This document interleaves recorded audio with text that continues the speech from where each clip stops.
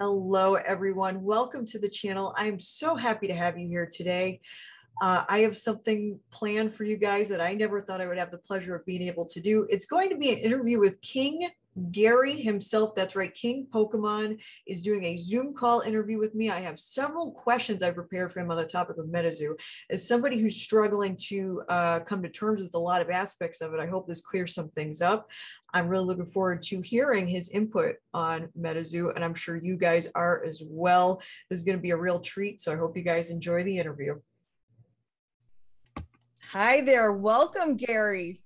Hello, Hillary. Nice to see you.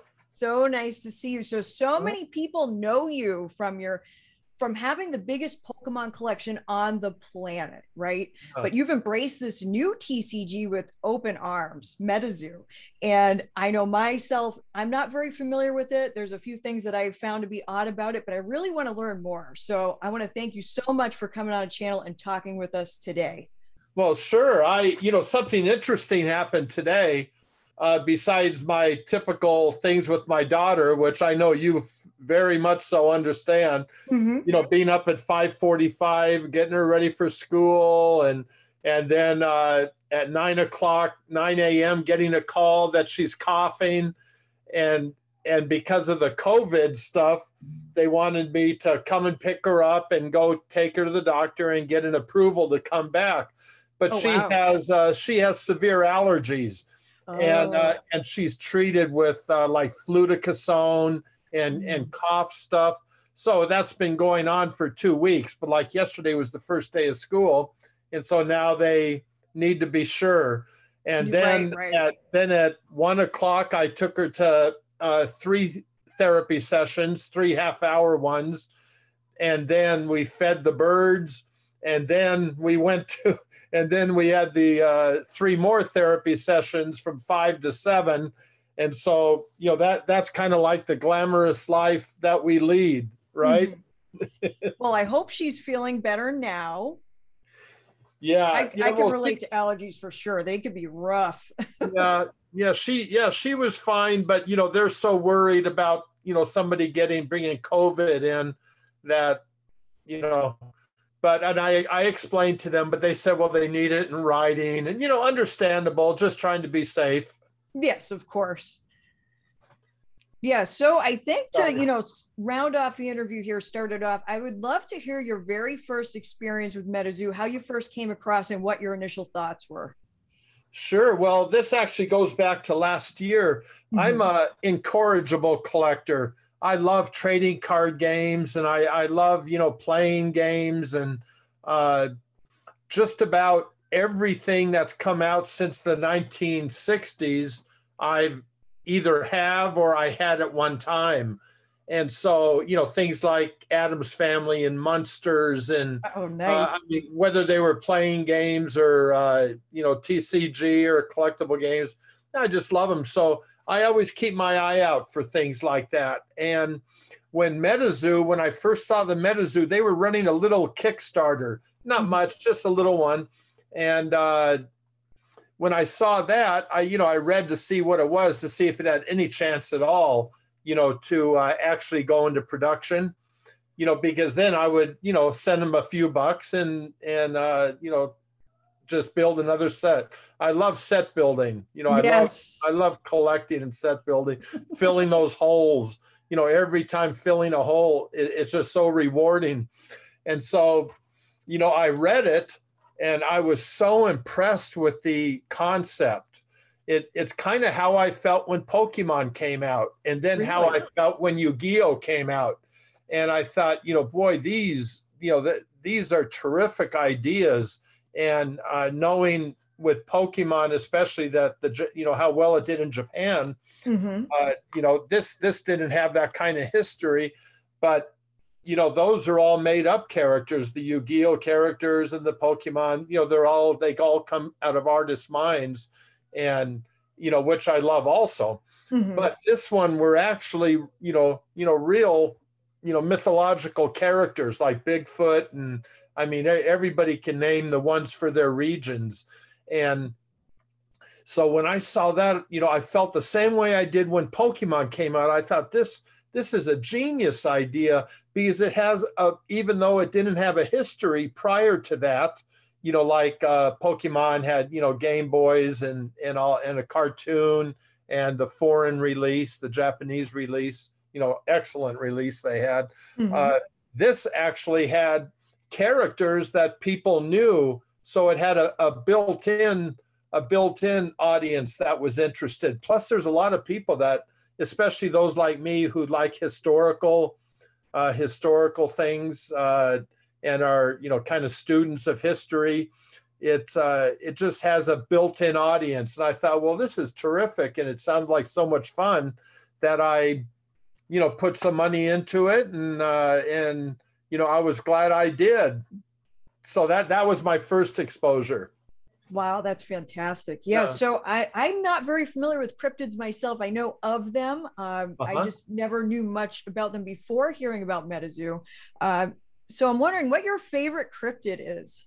Yeah, well, I'm sure you had heard of many of them, like Bigfoot and Loch Ness Monster, Jersey Devil, Piasa Bird. You know, there's a lot of really super famous ones, but the really cool ones are the ones that aren't that famous. You know, mm-hmm. they're for like the smaller regions. And like for me, in the South, there's a, a uh, cryptid called uh, joint snake, and it's a it's a snake that gets cut up with a knife, and then it can, you know, bring itself back together and thrive. Oh. And then if you actually take a knife and and part uh, part of the snake doesn't come back together or gets taken away, the knife itself becomes a part of the joint snake. I know it's kind of gruesome and that, but but the thing I love about it is the reverse foil of it has the reverse in sections. Like there's a bit here, a bit here, a bit here, a bit here, and it's just it's just uh, fascinating. It kind of reminds me. In, in fact, I personally I like the reverse foils much better than the holofoils. It kind of reminds me of you know like the shiny Charizard, you know yes. where right? Yes. And the Charizard is is just gold, and he's and he stands out, and you have to look closely to catch the background. In that, many people, when you mention the shiny Charizard, all they see is that golden Charizard. You know, they don't think of the background, and so you know that's kind of how these reverses look. They they just look so they just look so cool. And uh, so I would say my favorite is the joint snake. Yeah, for sure. And then, of course, it's hard not to like, you know, Mothman.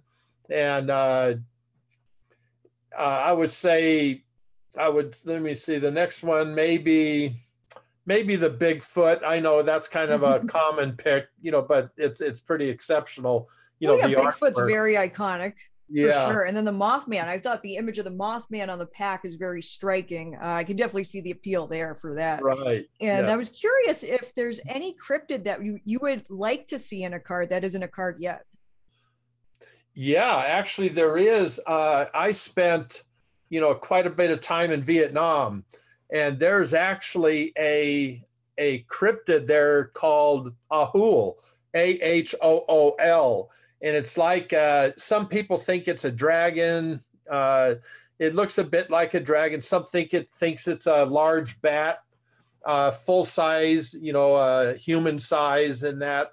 And uh, you can just imagine, you know, with all the imagination in Asia and all those things, there's terrific cryptids there. Now, none of those are included, you know, out here yet in mm-hmm. this set he is going to branch out though.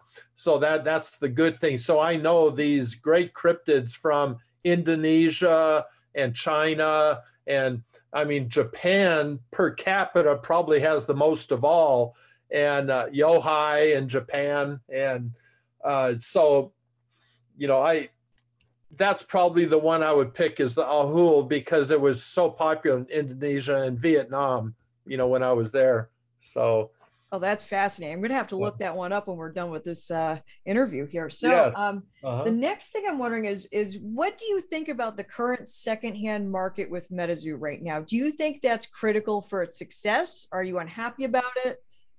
I th- I think it's insane. I mean, I mean, why? You know, it just doesn't make. But you know, I can say that because fortunately, I'm kind of in the position where that part, you know, just doesn't have to matter a whole lot to me.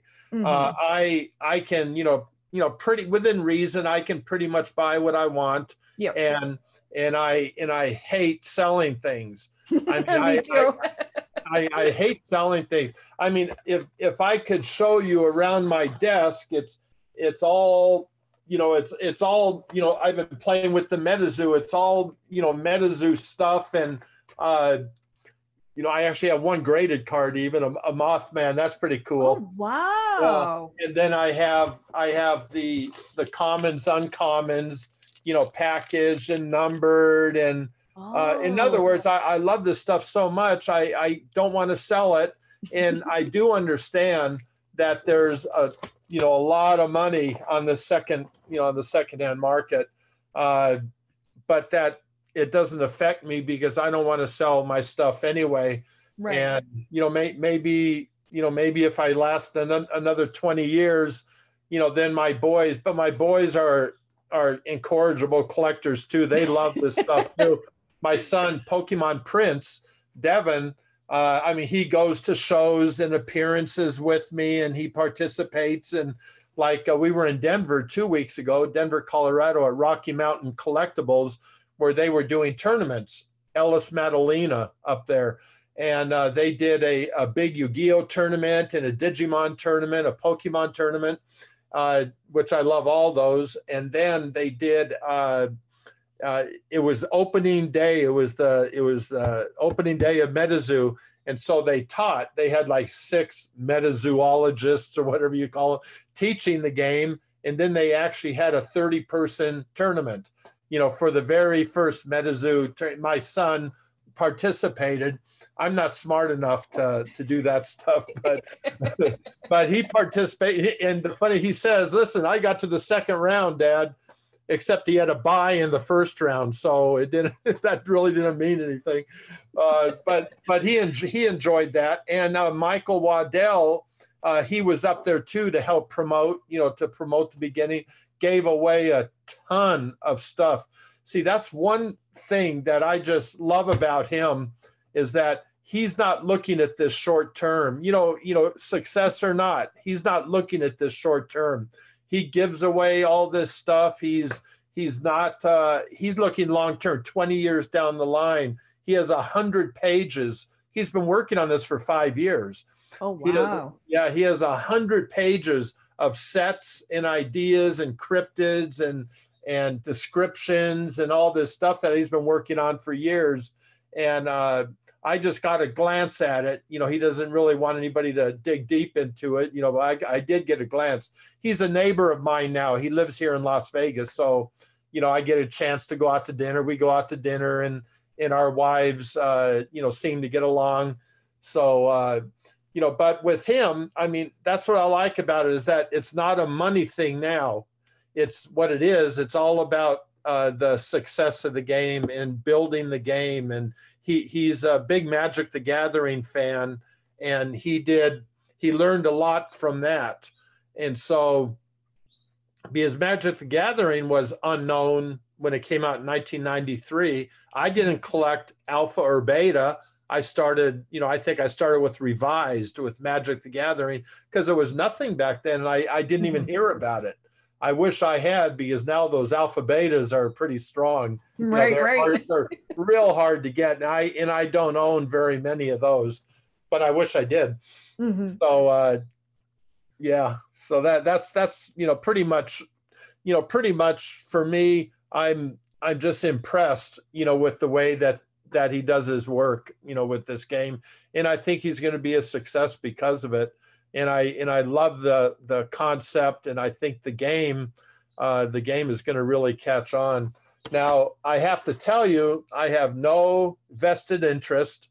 You know, I'm not I'm not a investor. I'm not. I, he's never even asked me to be anyway. Not that he would want me anyway, but.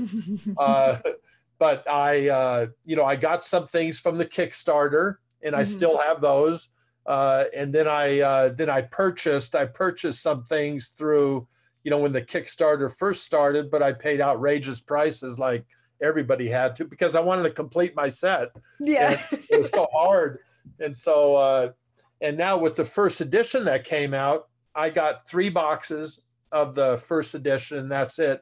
I'm not gonna, you know, normally what Twan Autism Instruct and myself do, like we did with those Kickstarters, we sold them all for the Aoki Foundation, and so it, uh, you know, we'll probably do that with these also. But remember, I'm we're very fortunate. You know, number one, I've worked my whole life and I've saved money. You know, I've worked hard my whole life and so I can afford to do this. And I don't begrudge anybody who can't. I mm-hmm. know a lot of people have the aspirations to do what I'm doing now. And probably in 30 years, when that time comes, they're going to be able to do a lot more than I can. So I, I only say I only say that I only say that because uh, it's the truth. You know, mm-hmm is just simply true. And it's not a bragging thing or anything. Uh, our charity work is everything, means everything to us. I, like you know, we have a little autistic daughter. You know, I go to 13 therapy sessions a week. I take her because my wife is a special education autism uh, master's degree holder teacher. And so she teaches autistic kids. And so she uh, you know, she works teacher hours, and that leaves me to do, you know, to do uh, everything that's needed, you know, for the little girl. And so, um, yeah. So anyway, you have your hands full for sure. And you do too. Yes, I sure do too. I mean, well. if anybody yes. understands, you do. I know exactly. But rewarding. Um, you know, my son's special needs, but I love every moment with him, and it's so enriching to watch him grow and just master these new skills every every new thing that he does just feels like a, a blessing really just i'm so thankful for the progress he's made especially in the last year i loved i loved the way you put that earlier in a note to me you know when we mm-hmm. were talking about our families i love the way you put that because uh you know the, these kids need people like you you know mm-hmm. they they need that kind of parenting and it's so hard it can be frustrating and and it can be tiring and it and the whole thing but the way you talked about how it was rewarding it is absolutely true it me i go i go to sleep it takes me 10 seconds to fall asleep but my last memories are from the day and that i feel the same way as you do that there's absolutely nothing in this world i'd rather do than that regiment I told you about earlier, getting up at 545, the sickness, going to the doctors, going to the therapies. And, and I'm 67, you know, mm-hmm. so it's not, you know, it gets a little bit harder as you get older. But my last thought when I fall asleep is exactly what you said. And that is, I, I felt privileged and rewarded by what happened during that day. And I just hope I can live long enough, you know, to, to see her you know, to see her get into her 20s and that. And, you know, my, my family does have a history of living a long time, you know, into their 90s. So maybe if I could just lose a little weight, you know, maybe I'd have a chance, you know, a chance to do that because I, I want more days just like today. Oh yes, I, I completely agree with you. I cherish every moment and, and the same thing at night, you know, before I go to bed, I just smile thinking about when my son smiles. I just, Mm-hmm. I feel his his happiness with every bit of my soul. It just warms my heart when he he's happy, I'm happy. Wow, yeah, exactly right. I love that. So we definitely have something we can relate to very much there, not oh, just the yes. Pokemon. yeah, well, hopefully at some point we'll have a chance to get together and share some stories and and maybe introduce them to each other. I would love that. I'm yeah. sure they would get along great. Yes. And um, Oh, so I wanted to ask you actually, what yeah. do you think about Mike Waddell not reprinting the damaged first edition booster boxes? Do you think that he there was a reason other than this maybe the secondhand market, or is it a time constraint? Is it not being able to reprint it? Yeah, you know that uh, that has actually been asked to me a number of times, and I have talked to him about it. We went out to dinner uh, a couple nights ago, and that actually came up because I ask, I hear about it so often. I asked him you know, uh, you know, what percentage of boxes got damaged? You know, just curious. I know there was a 25,000 boxes done. Yep. And they all sold out immediately. They're all long. I can't get one anymore either.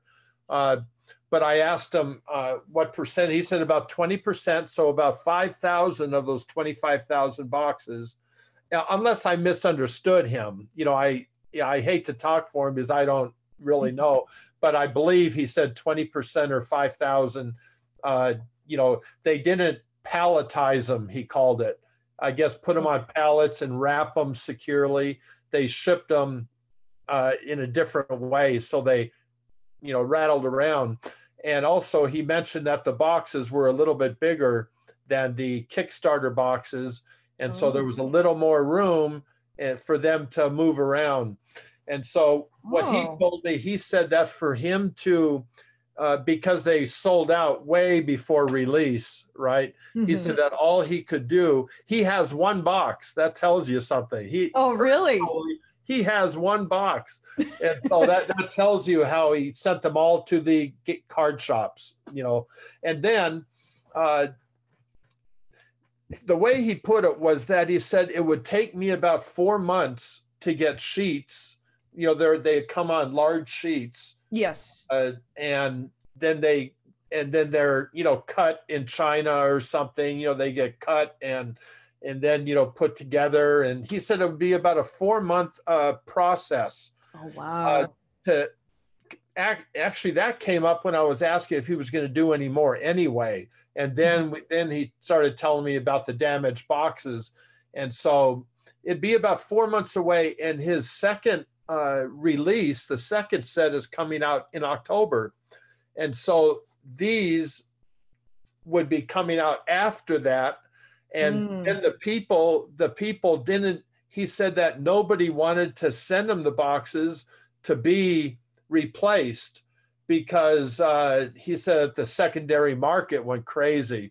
And right. I, right. I don't know. I don't know what they're up to, but I hear I hear it's like ten times or something.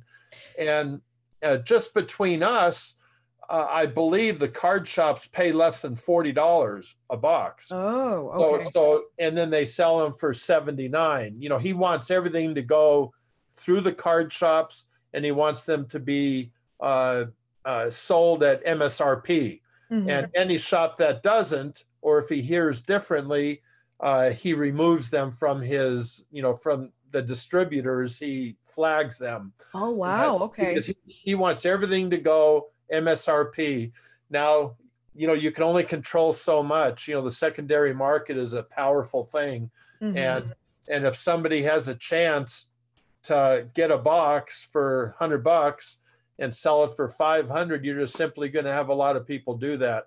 Right. And and I I really I really hate to even talk bad about them because you know, I, I think, you know, there, but for the grace of God, go I. You know, what if, what if I needed to feed my family and I, I had an opportunity to make a thousand dollars, you know, with a couple, you know, so I don't know, you know, I, I don't know how to feel about that, but I, I don't like to criticize people, you know, just because I'm not in their shoes. But anyway, that's, uh, you know, that's pretty much the way that he, that he said that he, but then again, he also added that not one person has asked to return them. But that makes sense, I guess, with the secondary market. You know, right. because- Right. the cards didn't get damaged. The boxes got dinged, and the cards inside, he said he hasn't heard of a single pack that got damaged. Now he said that if if anybody purchased boxes from the uh, from the LGSs, if anybody buys those, he said that you know he'll do all he can to replace them if they're damaged or something like that. It's just that uh, the logistics of creating a new print run, especially after being transparent and saying he's only doing 25,000 boxes, Mhm. uh, he said that that causes a problem in itself. So, I mean, I, I don't know, you know, I, I don't know what, you know, what to say about that. I, maybe if I was in his position, you know, maybe I'd do the same thing. I don't know, you know? Right, right. Well, it's an unfortunate situation that they did get dinged, and it's good to hear that the cards were not damaged. And it's hard to Yeah. Put ourselves in his shoes and how to handle that. But I do think that was very good insight. And to touch on the scalper topic, I mean, it's something that's affected Pokemon. And I have to agree with you. You know, I get frustrated with the prices over MSRP. It's something that really bothers me because I want kids and families to be able to enjoy it.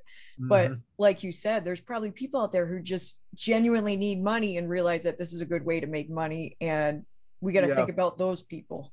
Plus, this has happened three, four times over the last 23 22 years of the English release. This has happened several times. It happened in 1999, the very beginning. Mm-hmm. You know, uh, you know, I wanted to get you know boxes and packs for my boys who were eight and nine at the time, and uh, and I mean, I just didn't have any luck. I, I actually drove out of state looking for stuff. You know, coming from California, you know, going into Nevada and Utah and Arizona, just, just trying to find some Pokemon product for them you know, in my travels, I would always look for that. So yeah, this is this has happened before, and I don't know. I don't you think some of the blame belongs on the company though? You know that they, uh, you know, they they could put out more product. You know, I'm I'm not sure. You know, there again, the logistics of what that would take. You know, maybe they would need another supplier, another manufacturer, or but they're a big company. Remember, Pokemon is you know the biggest media franchise in history. You right. know they're they're a pretty big company. You you would think they could keep up with demand, but maybe with the COVID thing and all that, it's you know it just made it more difficult. Uh, you know, there again, I'm not I'm not in their shoes, so I don't know. But I, I do know that if I had a business, I would want to sell as much as possible, and and I right, wouldn't right. want my customers angry. You know. you know, that's actually a good segue into another topic I wanted to ask you. Uh-huh. Uh, Pokemon being the biggest IP in the world, basically, uh, what elements do you think that MetaZoo could use from Pokemon to help propel its success? Would you think like, you know, toys, uh, TV show, cereal, you know, things of that nature? What do you think would be the best for it to help succeed in the long term? Actually, I think you're 100% right. I mean, there's, uh, you know, merchandise, you know, based on these successful games. Uh, I mean, I don't know what the percentage in, with Pokemon is. Like, let's just say plushes, mm-hmm. but it's huge.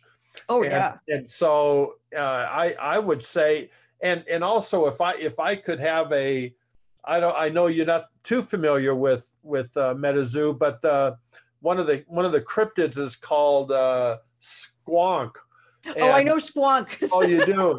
He, Actually, funny story. Um, uh-huh. Uh, my father, you know, talking, you know, playing with my son. Uh, you know, baby just kind of he made a funny noise. He goes, he would just make this sound, and my, my dad would call it a squonk. It's just oh. kind of like a baby grunt. so we would call him Squonky Boy or you know all these that funny is, little nicknames. And so when I saw that there was a Squonk card, I said, "Oh, isn't that funny, Squonk?" and and your dad actually knew that, you know, he because he knew that from somewhere, right? right? But but and so you know what he looks like, Squonk, and just imagine in a plush, you know, with that face and you know just grabbing it and squeezing it, and you know the for I mean, I'd enjoy it as much as my daughter Akara would enjoy it, you know. but but I mean, that's uh, yeah, I would say that uh, Pokemon has definitely taught a lot of lessons, a lot of us, a lot of lessons, and I mean, I see your shelves behind you, you know, with oh, yeah. uh, you know, with side with Psyduck and Meowth and and all those, and that's uh, I I would really like to know what percentage of Pokemon is that, and what percentage is movies, what percentage is uh, their TV shows and and stuff like that. Uh, something tells me it's it's spread out maybe pretty evenly or something. I'm sure cards are not you know the biggest you know the biggest thing, right. you know, but. Uh, yeah, so I would say MetaZoo could learn that, you know, and and I'm sure he I mean, I I didn't never discuss that with uh, with Michael, uh, but I mean, he's a sharp cookie. You know, he's a uh, he's a physicist and a mathematician. Oh wow! He, his, yeah, his background is in the sciences, and uh, and he's uh, you know worked many years in that field so so he's smart he knows what he's doing but he loves tcg and so he's put it all aside uh, to do what his dream was and that was creating you know metazoo. And he started that about five years ago and he was finally able to go full time when the covid thing hit. Mm. and uh, and now and now this this is his dream. And and you know what hillary even when even when things you know don't work out or even when things aren't good ideas or whatever i i love to support young people with ideas. You know not that i'm a good judge because my my my taste is horrible. I i i'm i'm wrong. If i had to pick a stock or something I, i'm horrible. But i love to see passion. You know i love to see uh, i'd love to see you. You know when you talk i mean you you actually care about what you're saying. You you're not afraid to express yourself. You care about what you're saying and uh, and just the way that you know when we've had a chance to talk about you know about your family you know it's the same thing. You're a passionate person. I i just love to see passion in young people because you know that's really what it's all about. And it doesn't matter if you have a dream and you work so hard and if it doesn't maybe succeed as much as you wished it would you know, it's uh, you know, like Bill Gates said, it's or Steve Jobs said, you know, it's the process, and it's it's just the process that matters. The process is what has value, and like this this video we're doing, you know, could be a complete bomb, and and you know, it doesn't matter if it is or it isn't because it's something you know it's something that we're putting in an effort and we're trying to educate and we're trying to you know teach if we can and and if it doesn't work out it doesn't doesn't mean we didn't do a good job. You know we did right. a good job and we care about what we're doing. You're doing this because you care. You're yes. not doing, you're not doing this for any other reason just because you care right or wrong good or bad you care about about it. And i'm doing it because i care too. I i want metazoo to succeed. I i want michael and his and his uh he has hit uh his uh, girlfriend Jessica is a fashion designer. I, I follow her and I, I, love seeing the things that she makes for people and stuff. I, I just like supporting people who care deeply about anything, you know. And you know, you mentioned that COVID kind of enabled Mike to go full time into MetaZoo. And you know covid did have a silver lining to it in some ways. You know people are were able to find better jobs after unemployment. I myself uh-huh. I was unemployed during covid and i started the youtube channel which you know i've put a lot of effort into. And right. sure it's not the biggest success but i truly enjoy doing it and it's become a hobby that i love. Uh-huh. and it's a lot of people were able to chase dreams with that bit of unemployment and that that bit of time off and staying home. I mean it was of course you know a big tragedy in many ways but it really did have some silver linings for some people. Yeah and and i think you're absolutely right about him. I mean i don't think i mean i think eventually he might have been able to get it going you know eventually but this way he was able to jump after four years he was able to jump in with both feet. Mm-hmm. and and look and look where he look where he is now. You know, look look where this game is. I mean, Topps Topps is taking over, and and Topps is printing a a MetaZoo set, and uh, and I mean that it's. I believe it was a lot of it was because of the the COVID. I really do. Not that he wouldn't have succeeded in the future, you know, but certainly not as quickly as this happened when he was able to devote all his time to it. So right Right. Mm-hmm. And then COVID also, you know, people at home looking for hobbies, it caused a huge explosion in the TCG market as well. So that's caused, you know, Pokemon values. I mean, you saw those rise. Yeah, I know. I know. It's really something. Plus the popularity. Uh, I mean, I I can't tell. I, like just today, I had the Guinness Book of World Records contact me. Oh no and, way! and they wanted they wanted well, like you know, they want to do something with me on it, and uh, and you know what which I'm not exactly sure what it was you know preliminary but mm-hmm. it was Guinness Book of World Records wanting to talk about the world's biggest Pokemon collection or something like that and you know that that that's pretty flattering and I'm not sure I want to go there but uh, yeah yeah but I I do I do agree with you there you know absolutely. It made it, it did make a big difference for a lot of us. And a lot of people who loved the hobby and loved their cards and collected for years, suddenly they had a lot of lot of value. Mm-hmm. And they they were able to sell stuff and and purchase, you know, purchase the house of their dreams and you know things like that and unfortunately you know for every extra dollar somebody else is paying an extra dollar and that and that's too bad uh that's too bad but but hopefully you know what they bought is you know gonna have a little steady increase hopefully and and if nothing else they'll be like me an old man with a ton of cards who, does, who doesn't care you know who doesn't care if if they you know what they're worth because i totally don't care you know, I, I seriously don't care. Uh, you know, I, I just love the hobby and I just love what I've done and I love the, I, I love, uh, you know, being a part of it. I'm going to be like you when I'm older because I'm not going to sell any of this stuff. Right. I, I bet you will. I know. I bet you'll be just like that. Yeah. Uh-huh. Um, so. And then your little boy, then your little boy is going to have a ton of stuff to mess with. Oh yeah, he already takes the cards and he holds them up. I mean, they're PSA one now that he played with them, but right. Oh well. um. So I was wondering if there's anything that you think could be done to improve the cards in any way.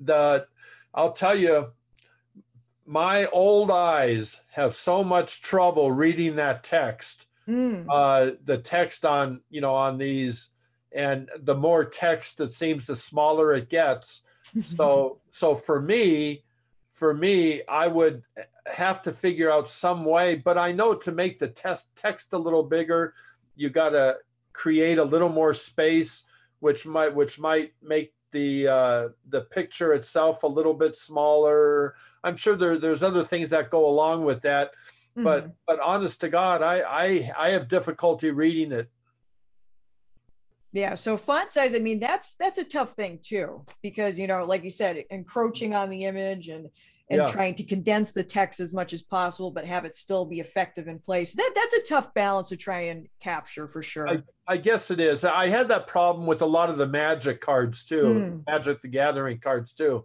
but even either more so with the metazoo or just because my eyes are older than they were back then i don't know I should see if there's any other topics here that I wanted to cover. Um,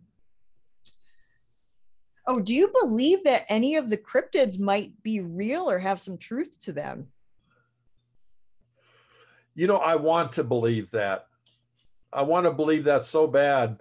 Uh, I mean, what I would give, I mean, I'd probably jump up on this table, but I'd love to see a hoop, a, a joint snake come crawling through. Uh, you you you know hillary i'm not i've never witnessed anything out of the ordinary like that i i love the idea of them being real and uh like there's a there's a lot there's a lot of land that's unexplored that mm-hmm. uh you know there's been been some bigfoot sighting i want to believe it but i've never seen it and I, I think I'd be disingenuous if I said that I believed uh, that's somewhere real. You know, I I just have no. But then again, I've never seen I've never seen God either, and I'm and I'm very much a man of faith. So, uh, and he, and there's no question he's no cryptid. So, so I maybe that's a little hypocritical. I'm not sure. yeah, I mean, there's what, some people that think? believe. Let, let me ask you. You know, what what do you, what do you think? about cryptids about the possibility of any of them being real or ever were real or or do people just make that up so i think that there are some mm-hmm. that could have some truth to them but be exaggerated so could somebody have seen something like bigfoot yeah could somebody have seen something like the loch ness monster yeah it may have looked like that to them right but i do think that there's some truth there to some of these but certainly some are entirely fictitious Right. Okay. So it's not just me.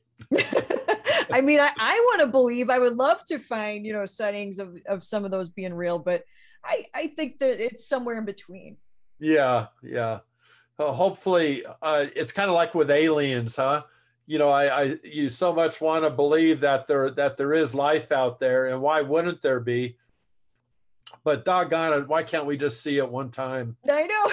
You know. so last question for you here. uh huh. Where do you think MetaZoo will be in one year's time, like 365 days from today? Yeah, one year one year from today,